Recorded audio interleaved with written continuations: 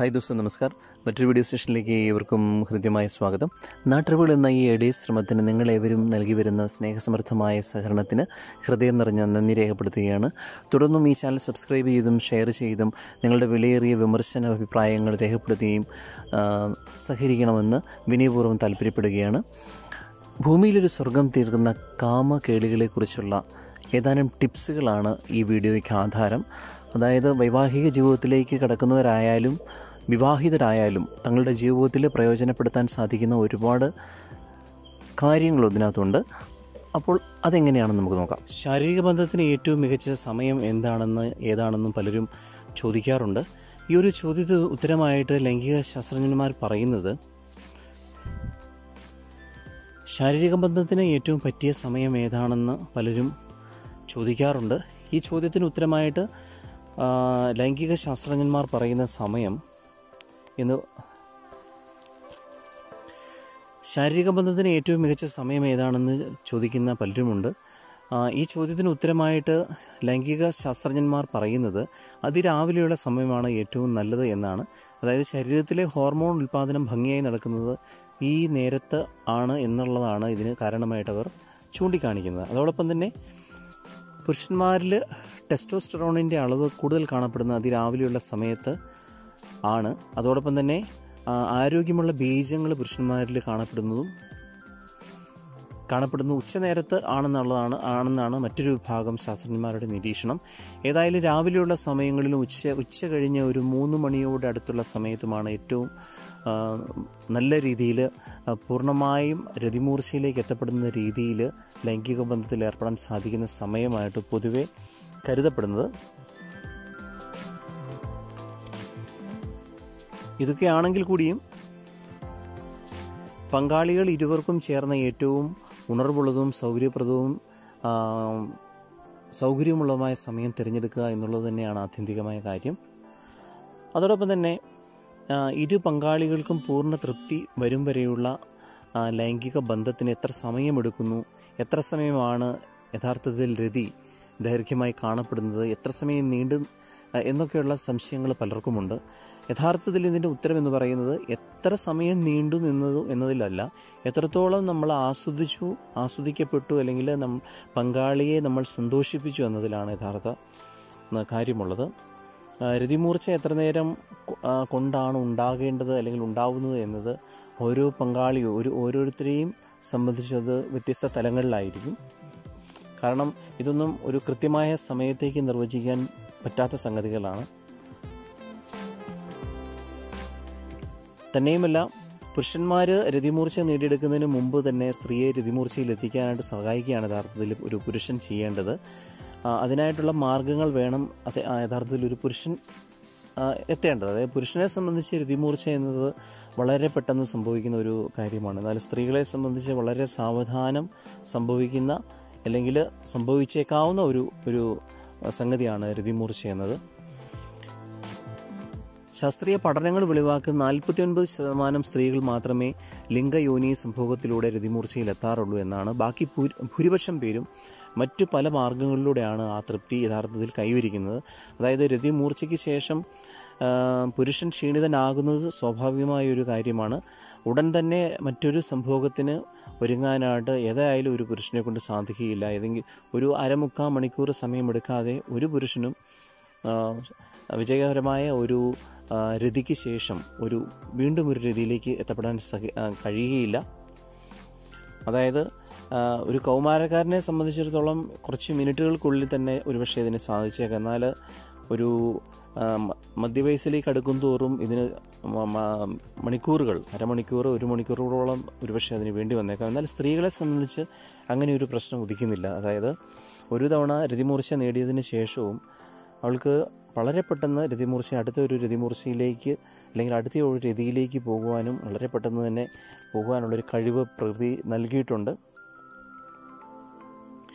പിന്നെ രതിമൂർച്ചയിലേക്ക് എത്തപ്പെടാൻ വേണ്ടിയിട്ട് ഏറ്റവും ശ്രദ്ധിക്കേണ്ട ഒരു കാര്യമെന്ന് പറയുന്നത് ലിംഗപ്രവേശം എപ്പോൾ വേണമെന്നുള്ളത് സ്ത്രീകൾക്ക് വേണം തീരുമാനിക്കാനായിട്ട്. അതായത് അവൾ ലൈംഗികപരമായിട്ട് തീർത്തും ഉണർവും തേടി എന്ന് എന്നതിന് ശേഷം അല്ലെങ്കിൽ ഉണർവ് തേടി നേടിയതിന് ശേഷം സ്വയം ആഗ്രഹിക്കുന്ന ഒരു സമയത്താവണം യഥാർത്ഥത്തിൽ ലിംഗപ്രവേശം സംഭവിക്കാവൂ. അതായത് യോനിയിലെ നനവും സനഞ്ഞെട്ടുകളുടെ വികാസവും ലിംഗപ്രവേശത്തിനുള്ള യോനി സന്ന സന്നദ്ധത കാണിക്കുമെങ്കിലും തീർച്ചയായിട്ടും തന്റെ പങ്കാളി നൽകുന്ന സൂചനകൾക്കനുസൃതമായിട്ട് ലിംഗപ്രവേശം നടത്തുന്നതാണ് അഭികാമ്യം. അത്തരത്തിലുള്ളൊരു രതി വേഴ്ചയിലാണ് യഥാർത്ഥത്തിൽ രതിമൂർച്ചയും മറ്റും സ്വാഭാവികമായിട്ട് സംഭവിക്കുന്നത്. അപ്പം ലൈംഗികതയുടെ ഈ ക്ലൈമാക്സിലേക്ക് നയിക്കുവാനും രതിയുടെ ഈ ഗതി വിഗതികളെ നിയന്ത്രിക്കുവാനും സ്ത്രീകൾക്ക് യഥാർത്ഥത്തിൽ കഴി ഉണ്ടാകണം. പുരുഷന് ലൈംഗികമായി ഉണർവുണ്ടാക്കാനും പങ്കാളികൾക്ക് ഇഷ്ടപ്പെട്ട ലൈംഗിക മാർഗങ്ങളിലേക്ക് നയിക്കാനും ഒരു അതിവിരുദ്ധുള്ള ഒരു സ്ത്രീക്ക് തീർച്ചയായിട്ടും കഴിവുണ്ടാവും. തന്നെയുമല്ല സ്ത്രീ ഒരു സ്ത്രീക്ക് എത്രത്തോളം സന്തോഷം ലൈംഗികതയ്ക്കിടയ്ക്ക് ലഭിക്കുന്നു എന്നുള്ളത് അറിയാൻ ആഗ്രഹിക്കുന്നതിനാണ് യഥാർത്ഥത്തിൽ പുരുഷന്മാർ വികാരോത്തേജന കേന്ദ്രങ്ങളിൽ അവന്റെ സ്പർശത്തോടുള്ള പ്രതികരണം പോലും ശബ്ദമായോ മറ്റോ സ്ത്രീ അറിയിക്കുക തന്നെ വേണം എന്ന് കരുതുന്നവരാണ് പുരുഷന്മാരിൽ നല്ലൊരു ശതമാനം പേരും. അത് അത് അതിന് മറ്റൊരു വശം കൂടിയുണ്ട്. കാരണം അത്തരം പ്രതികരണങ്ങൾ പുരുഷനെ കൂടുതൽ ഉത്തേജിതനാക്കുകയും കൂടുതൽ ക്രിയാത്മകമായി പ്രതികരിക്കാൻ അവനെ സഹായിക്കും. മറ്റൊരു കാര്യം ഇതിൽ പ്രധാനപ്പെട്ടതായിട്ടുള്ളത് സ്ത്രീയും പുരുഷനും തമ്മിലുള്ള വൈരുദ്ധ്യങ്ങളാണ്.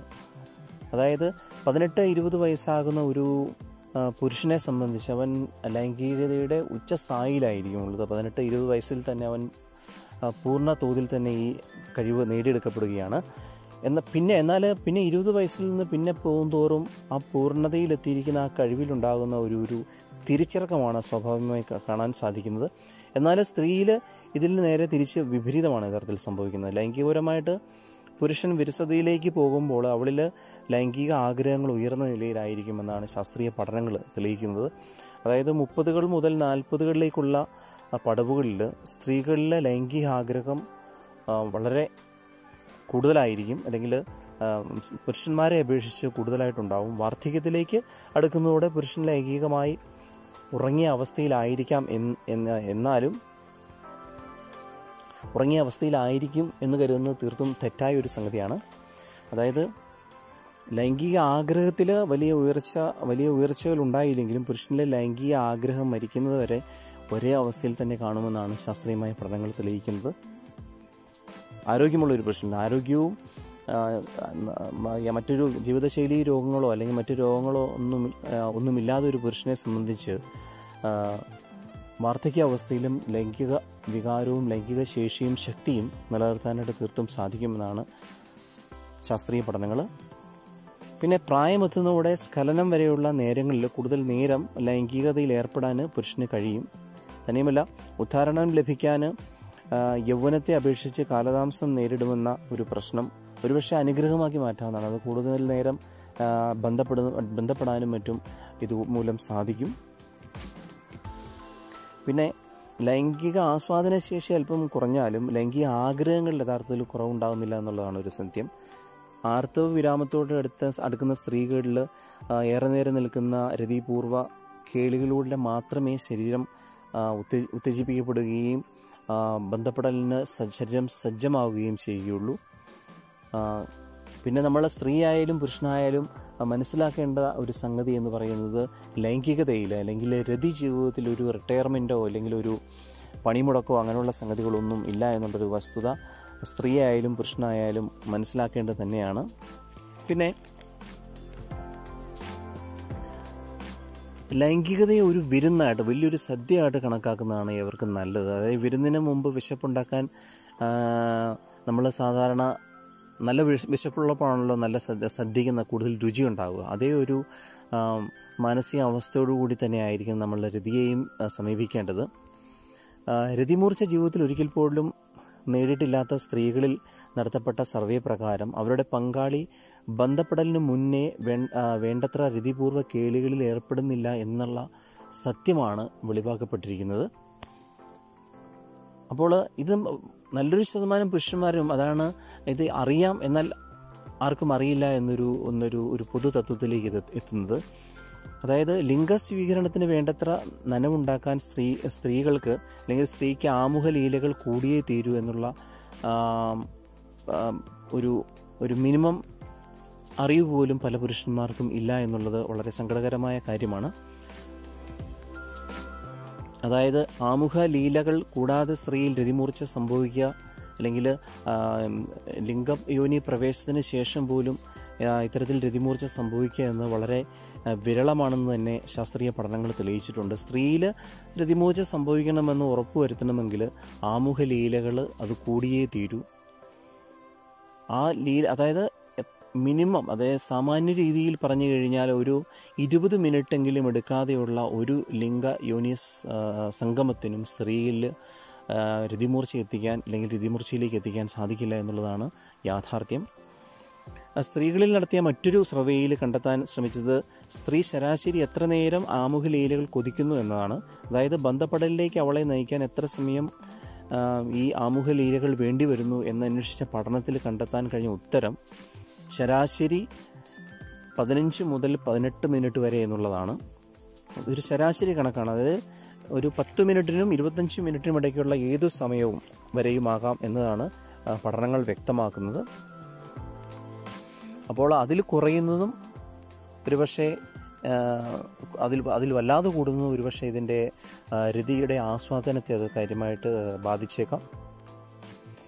തന്നെയുമല്ല ഇക്കാര്യത്തിൽ ഓരോ വ്യക്തികളെയും ആശ്രയിച്ചാണ് ഇരിക്കുന്നത് ഈ സമയവും കാര്യങ്ങളും. എന്നിരുന്നാൽ കൂടി പൊതുവിൽ പറഞ്ഞു കഴിഞ്ഞാൽ ഒരു പതിനഞ്ച് ഇരുപത് മിനിറ്റ് ആമുഖ ലീലകളിൽ ഏർപ്പാട് ഏർപ്പെടാതെയുള്ള ഒരു ശാരീരിക ബന്ധം ഒരിക്കലും ഒരു സ്ത്രീക്ക് രതിമൂർച്ചയിലേക്ക് എത്തിക്കാൻ ഒരു പുരുഷനും കഴിയില്ല. പുരുഷന്റെ ത്വര എന്ന് പറഞ്ഞു കഴിഞ്ഞാൽ എത്ര കാര്യത്തിലേക്ക് എത്രയും പെട്ടെന്ന് കടന്നു ചേരണമെന്ന ഒരു മാനസിക സ്ഥിതിയോടാണ് പുരുഷൻ സാധാരണഗതിയിൽ രതിയിൽ ഏർപ്പെടുന്നത്. അതായത് എത്രയും പെട്ടെന്ന് ബന്ധപ്പെടൽ എന്ന മനസ്സോടെയുള്ള ധൃതി കൂട്ടലാണ് യഥാർത്ഥത്തിൽ ഈ രതിയുടെ ആസ്വാദി ആസ്വാദ്യതയെ തകർക്കുകയും ചെയ്യുന്നത്. ലൈംഗിക സ്വഭാവങ്ങളിലും രീതികളിലും ധാരാളം പഠനം നടത്തിയിട്ടുള്ള മാസ്റ്റേഴ്സ് ആൻഡ് ജോൺസൺ പറയുന്നത് പങ്കാളികളിലെ ലൈംഗിക പ്രവൃത്തികൾ അവർ ആ, വിവസ്ത്രരാകുന്നതിന് മുമ്പ് തന്നെ ആരംഭിക്കണമെന്നാണ് അതായത് സംഭവ സമയത്തിന് സമാന മുമ്പ് തന്നെ സമാനമായ ചലനങ്ങളും വികാരോത്തേജനം ലഭിക്കുന്ന ശരീരഭാഗങ്ങളിൽ ഇരു പങ്കാളികളും നടത്തുന്ന ലാളകന ലാളനകളും കളികളും ഒക്കെ ഈ ആമുഖ ലീലകളിൽ ഉൾപ്പെടുത്താവുന്ന ഒന്നാണെന്നാണ് അവരുടെ പഠനഫലം. അതുപോലെ തന്നെ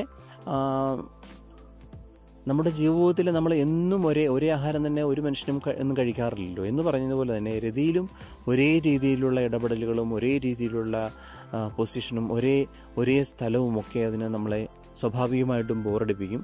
അപ്പോൾ അതിനൊക്കെ മാറ്റം വരുത്തേണ്ടത് വളരെ ആവശ്യമോ ആവശ്യവും അതോടൊപ്പം തന്നെ കൂടുതൽ ആസ്വാദികരമാകുവാനും നമ്മളെ സഹായിക്കുന്ന ഒന്നാണ് അതായത് നമ്മൾ ഒരു മുറിയിലും മറ്റും നമ്മൾ വ്യത്യസ്ത നിലകളിൽ കുറേ ഇടയ്ക്ക് ഒന്ന് മാറുന്നത് അല്ലെങ്കിൽ പൊസിഷനും കാര്യങ്ങളും അല്ലെങ്കിൽ നമ്മൾ അപ്രോച്ച് ചെയ്യുന്ന രീതികളിലൊക്കെ മാറ്റുന്നത് വളരെ ഫലം ചെയ്യുന്ന ഒന്നാണ്. മറ്റൊന്ന് ഏറ്റവും കൂടുതൽ ശ്രദ്ധിക്കേണ്ടത് പങ്കാളികൾക്കിടയിലുള്ള ശുചിത്വമാണ്. ഏറ്റവും കൂടുതൽ ശ്രദ്ധിക്കേണ്ടതും ആ ഒരു മേഖലയിൽ തന്നെയാണ് അപ്പോൾ ശുചിത്വം പാലിച്ചുകൊണ്ടുള്ള ഒരു ബന്ധപ്പെടൽ രതിയുടെ ആസ്വാദ്യതയാണ് അവിടെ വർദ്ധിപ്പിക്കുന്നത്. അതായത് വചനസുരതം പോലുള്ള കാര്യങ്ങളിലേക്ക് പോകുമ്പോൾ തീർച്ചയായിട്ടും വ്യക്തി ശുചിത്വം പാലിക്കുക അത്യാവശ്യമാണ്. അപ്പോഴാണ് രതിയുടെ ആസ്വാദ്യതയും അല്ലെങ്കിൽ രതിമൂർച്ചയിലേക്ക് എത്തപ്പെടാനുള്ള വേഗവുമൊക്കെ നമുക്ക് കൈവരുന്നത്. പിന്നെ തന്നെയുമല്ല ആരോഗ്യകരമായ ബന്ധത്തിന് അനുവർത്തിക്കേണ്ട എല്ലാ സുരക്ഷിത മാർഗങ്ങളും നമ്മൾ അനുവർത്തിച്ചുകൊണ്ട് വേണം തന്നെ വേണം രീതിയിൽ ഏർപ്പെടാൻ. അതായത് അനാവശ്യ സമയത്ത് ഇപ്പോൾ കുട്ടികളുണ്ടാകും എന്നുള്ള ഭയവും മറ്റും യഥാർത്ഥത്തിൽ രതിയിൽ രതിയുടെ മൂടും അതുകൊണ്ട് തന്നെ ആസ്വാദനവും കളയും.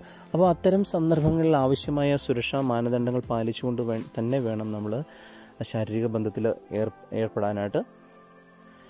അപ്പോൾ ഇത്ര തീവ്രവും വളരെ പങ്കാളികൾ തമ്മിലുള്ള ഈഴടുപ്പവും ഒരുപാട് വർദ്ധിപ്പിക്കുന്ന ഈ ഒരു ബന്ധപ്പെടൽ അല്ലെങ്കിൽ ഒരു ശാരീരിക പ്രക്രിയയായിട്ട് രീതിയെ നമ്മൾ വളർത്തിക്കൊണ്ട് വരുമ്പോൾ മറ്റു ഇതര ബന്ധങ്ങളിലേക്കും അല്ലെങ്കിൽ കുടുംബ ബന്ധങ്ങൾ ശിഥിലമാകുന്നത് പോലുള്ള പ്രശ്നങ്ങളിലേക്കും പോകുന്നതിൽ നിന്നും പങ്കാളികളെ ഇരുവരെയും സ്വാഭാവികമായിട്ടും തടയുന്ന ഒരു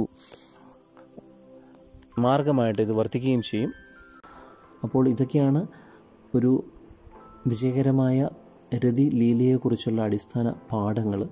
അപ്പോൾ ഏവർക്കും ഈ വീഡിയോ ഇഷ്ടമായി നേരുന്നു. ദയവായി ഈ ചാനൽ സബ്സ്ക്രൈബ് ചെയ്യുകയും ഷെയർ ചെയ്യുകയും ചെയ്യണമെന്ന് വിനീതമായി താല്പര്യപ്പെടുന്നു. അടുത്ത വീഡിയോയിലേക്ക് നന്ദി. നമസ്കാരം. ബൈ.